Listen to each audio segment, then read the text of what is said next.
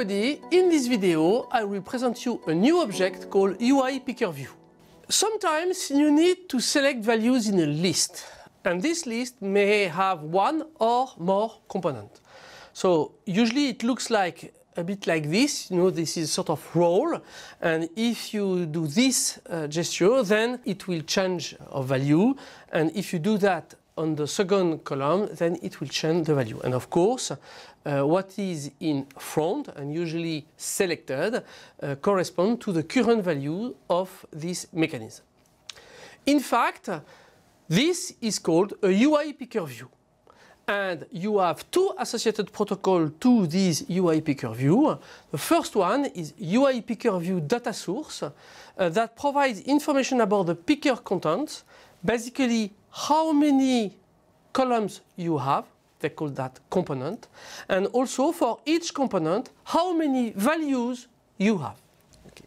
And then you have a second protocol, which is called UI Picker View Delegate, that handles the changing of the values and also the values themselves. Okay? And in fact, in this protocol, you have two methods that are mandatory and in this protocol, usually at least the method to uh, present uh, the values uh, is mandatory and also uh, you better catch the one that uh, warns you every time something changes. So the principles are those you are already used uh, for numerous type of views. You create and customize your new view. Then you set up not only one delegate, but here the two delegates.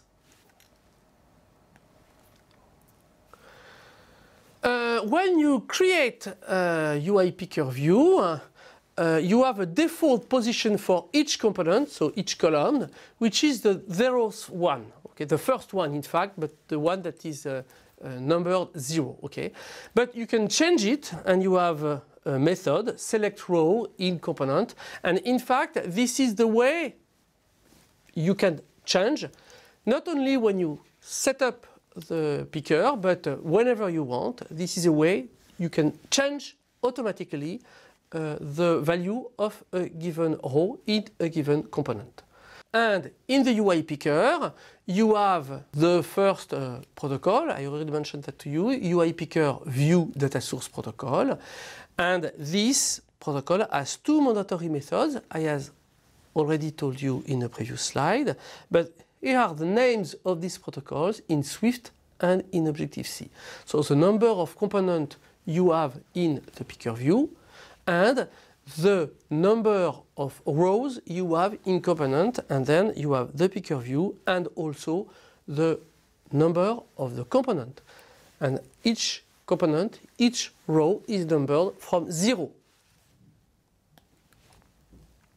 Then you need to respond to events and then you reach the second protocol, UI Picker View Delegate. And the first important method you must uh, fill is one of these methods. Okay. In fact, uh, you have a first method, picker view title for row for component, that returns a string and then the appearance is the default one handled by iOS. But if you want to customize it, you have a similar method that returns directly a UI view.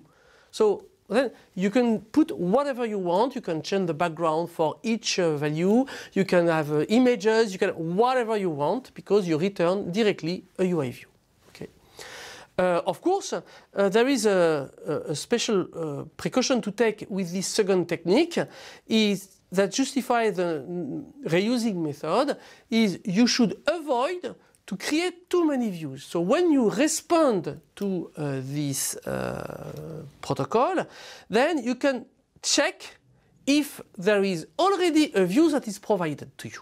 And if there is a view, then you better reuse this view than create a new ones. Otherwise, this will generate uh, allocation, deallocation uh, regularly, and it it will not be comfortable in terms of um, fluency uh, because uh, it may generate some lags, especially on old devices. Okay, so uh, you have to take care of this reusing uh, part. And then it's important to be informed when something is selected here in Swift and below in Objective-C, as for all other methods.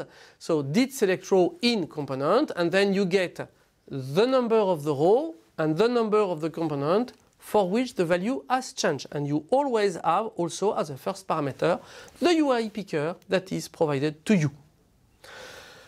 The picker may be customized. Uh, you have a property show selection indicator that allow you to delete it or to uh, present it.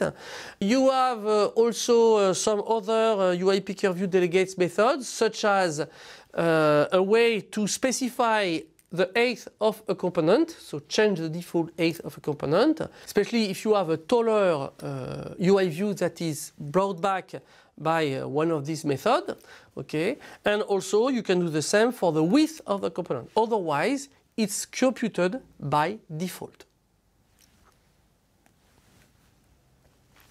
So it's another useful object for object interaction.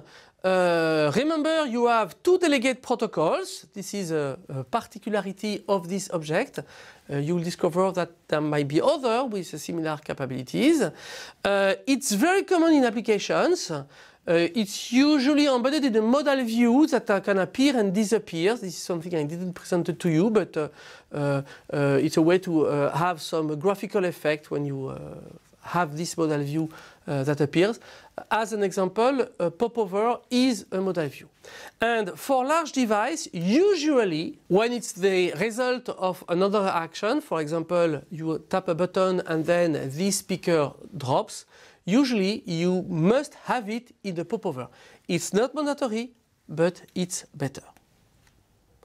Thank you for your attention. See you later.